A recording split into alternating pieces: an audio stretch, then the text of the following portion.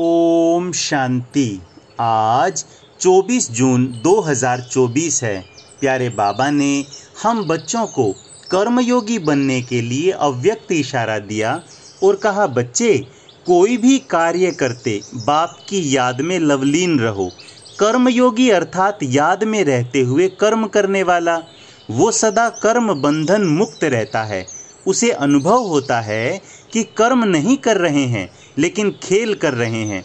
उन्हें किसी भी प्रकार का बोझ व थकावट महसूस नहीं होगी। कर्मयोगी अर्थात कर्म को खेल की रीति से न्यारे होकर करने वाले, वो कर्मेंद्रियों द्वारा कार्य करते बाप के प्यार में लवलीन रहने के कारण बंधन मुक्त बन जाते हैं। अच्छा ओम शांति।